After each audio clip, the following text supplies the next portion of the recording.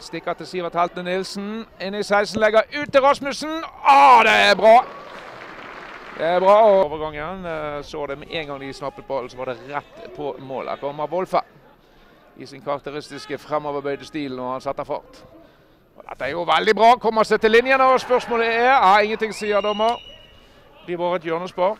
Ja, en liten fin detalj. Kranglet seg foran i køen der. Og så tar Brann den med en gang. Finne! Overrasket både kommentar... Skal skje fort. Nå skal vi se på hjørnesparket her.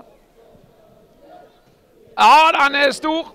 Den er jo Eh, Norge U19-spiller setter. Her skal vi se da finne. Oh, det er nesten! Det var en litt rar og merkelig igangsetting. Finne!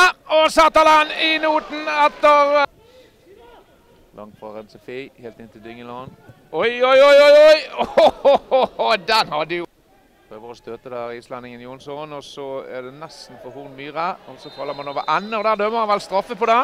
Han liker best eh, ned til sin venstre. Så Ja. eh, Greit, vi får se. Og det gjør han ikke, men ball går i. Nå ser at Blomberg eh, går inn i 16, flikker ned innlegget. Ut! Børsting skal sette den! Skal jo det. Sånn eh, 14 trekks angrep her fra Brann. Tøft hvis det ender med noe. Å, se den! Suser den der!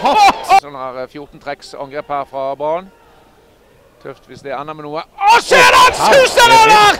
Sting skulle hatt én skåring, men uh, så ligges den ut. Og der skal det vel være fire, vel? Ja, da er det 4-0 til uh, Brann.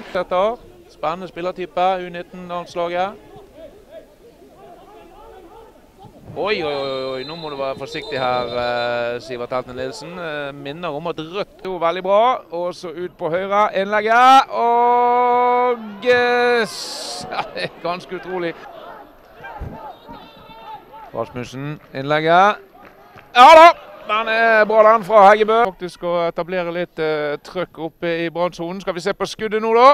Ai, tverrlegger faktisk der fra Andreas. Så din favoritt gir seg klar bort på Brannbenken. Børsting. Og Tuffikic inn! Der skal det være skåring! Ole! Eh, Ganske stor mulighet, egentlig. Børsting. Kommer du deg fri? Fyrer løs. Ai, ai, ai, ai, ai!